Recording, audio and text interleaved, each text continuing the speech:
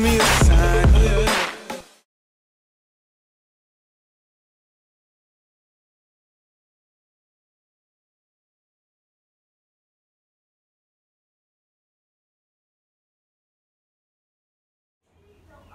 Fala pessoal, e aí, beleza?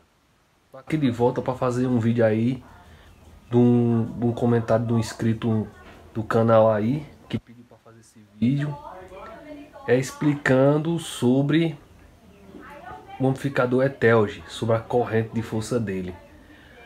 Assim, começando logo direto ao assunto, eu queria dizer logo a vocês que assim, o amplificador Etelge, ele é um amplificador muito bom bom mesmo, eu não vou mentir não para vocês não. Mas tem que tomar muito cuidado com ele, porque ele é muito perigoso. A corrente de energia dele é muito alta. Vou mostrar uma coisa aqui para vocês. Como vocês podem ver, estou aqui com ele, o Etelge 4000. Vou mostrar aqui atrás aqui. Eu desliguei aqui no sua, estou fazendo uma revisãozinha. Vou mostrar aqui a vocês. Como vocês podem ver, esse aqui é o antigo. Eu não sei se o novo ele faz isso, mas só que esse meu aqui, quando eu for ligar, faço a ligação dele tudo jeitinho, tudo no jeito. Antes de ligar na caixa, eu tenho que ligar primeiro ele. Ligar primeiro ele, como tá ali, tô fazendo a ligação aqui, ó. Ligo primeiro ele assim. E ligo lá na frente, ligo tudo, processador tudo. Aí depois é que eu venho com o cabo aqui e venho e ligo aqui. Porque se eu ligar com ele diretamente, já com tudo conectado aqui, menino, é um pipoco grande que ele dá. É capaz de arrancar os alto-falantes para fora. Essa aqui é a ligação do grava que eu fiz foi tirar aqui, pessoal. Mas é como eu já disse, eu tô fazendo uma revisãozinha aqui. Até falando se eu tirar logo isso aqui, que eu tô desmontando aqui tudo aqui. que a revisão aqui é braba.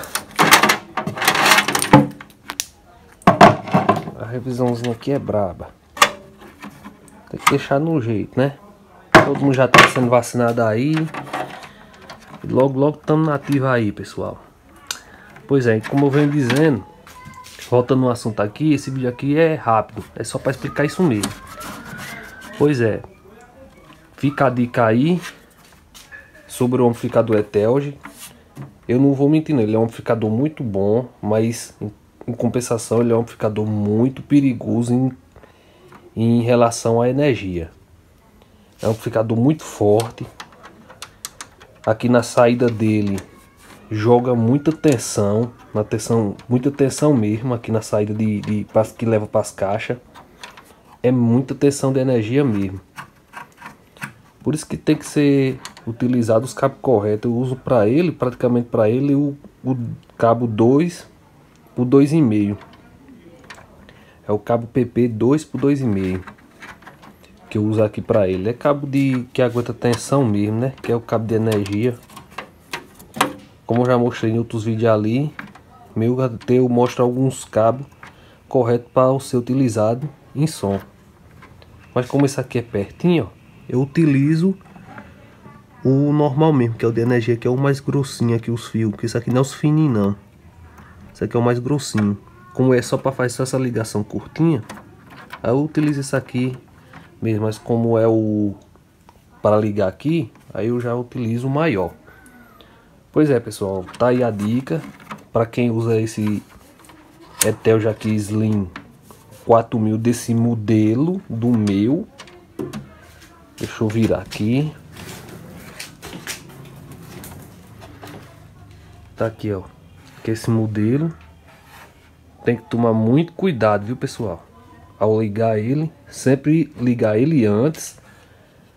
Pode ligar também os, os aparelhos primeiro. Liga ele, os aparelhos primeiro. Faz a ligação aqui. E depois conecta na caixa lá que também não vai dar nada não, não vai dar nenhum pipoco não. Aí depois é que você começa a fazer os volumes do, do aparelho.